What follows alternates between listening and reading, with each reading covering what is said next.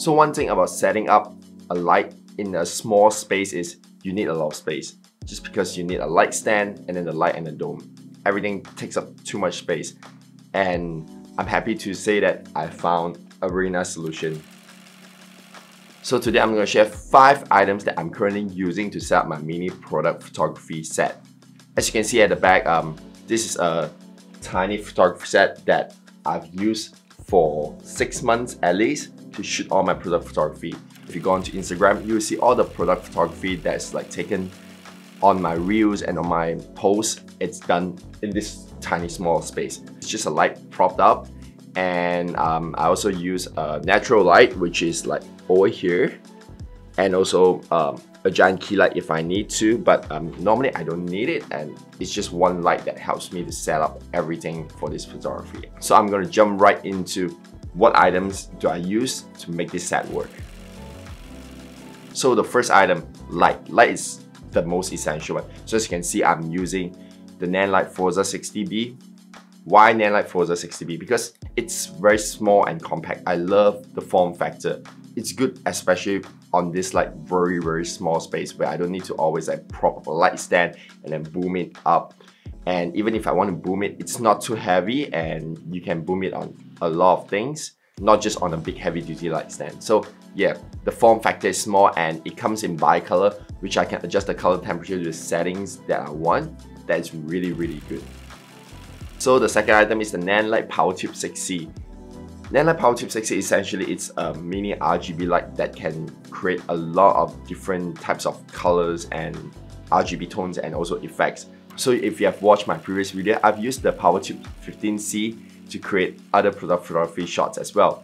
And the PavoTube C is essentially way shorter than the 15C, which is more portable and easy to carry around and easy to place around and I've used this to create like accent lights and this is very good because once you have a key light all you need is just like few lights to set things up and I have two of them that helps me to do a lot of feeling in my product photography set.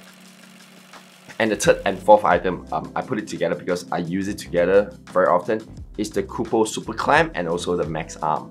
So essentially the Super Clamp, the name tells itself, it's a clamp that allows you to clamp in any other surface.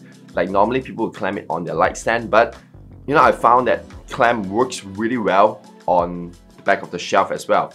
And on top of the clamp, I added the max arm on it because the max arm gives you more flexibility rather than just mounting your light on the super clamp itself.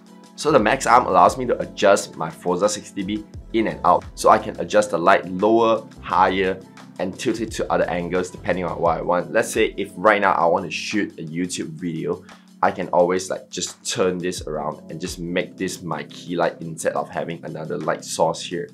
Let me just try and show you how does it look like.